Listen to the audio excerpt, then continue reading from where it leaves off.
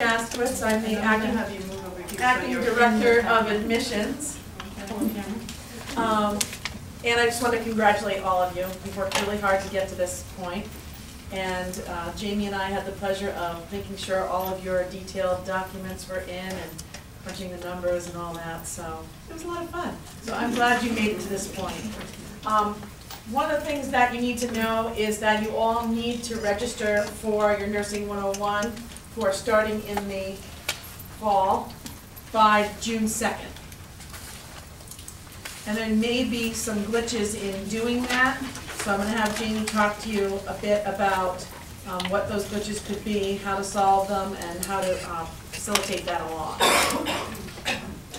I just wanna say, we owe her a great deal of um, thanks, because she is the one who did the bulk of this work.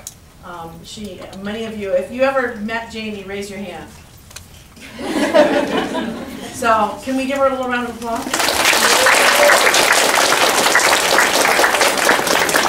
In the middle for the, over there, because you're. Oh, okay. All right, so you do all need to register for, if you're coming in for fall, you need to register by June second. Right now, I think only fifteen of you have, so there's a lot of you who still need to do it. Um, I'm going to leave my business card on the table in case anyone is having any difficulties registering, let me know. Um, a couple of things that would get in the way of being able to register.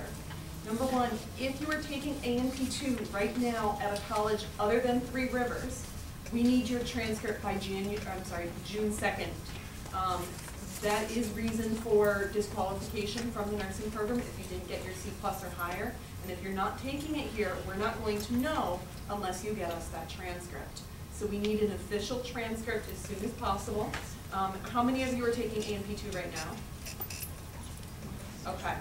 Um, this goes for students starting in the spring as well. I need those transcripts for A&P2 if they're not from Three Rivers, and I need them by June second.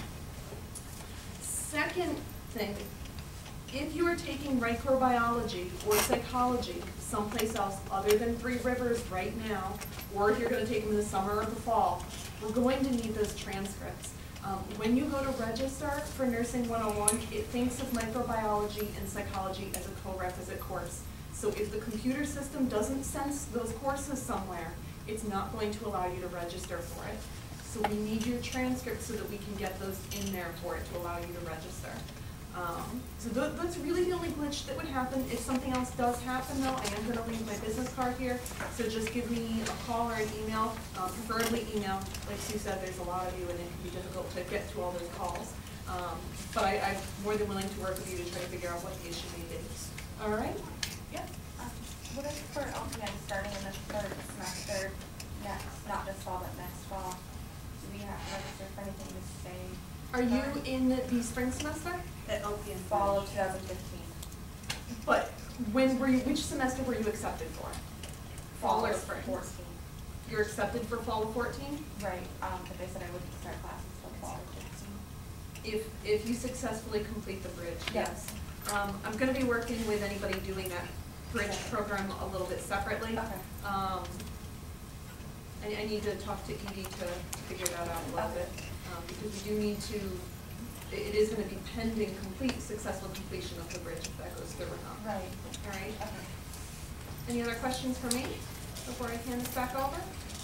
When you register for spring, what's the date? December first is the deadline to register for spring classes, so if you, you don't wanna wait till past that. Registration opens for the spring for nursing students November third, I believe, and those dates are all in your acceptance packets. Um, so if you don't remember them, go, go back to those acceptance documents that you received.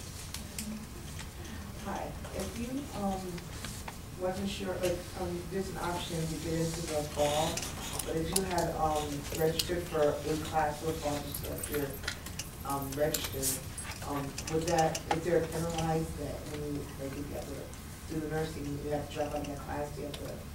When you switch the amount of credits, if, if you switch from one class to another and you don't change the amount of credits you're in, there's no penalty, fees, anything like that that you'll be responsible for.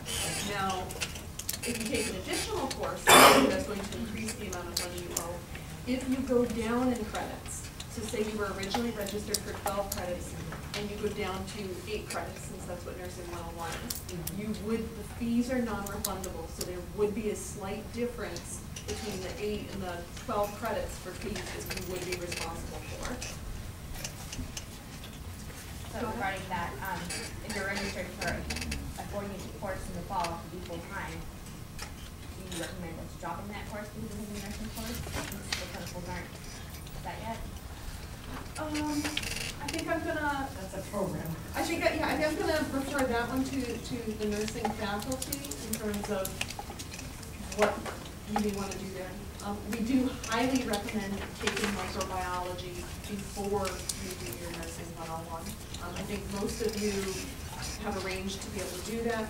Um, and if there's anybody who isn't yet registered for microbiology or needs a seat in microbiology, please contact me as soon as possible.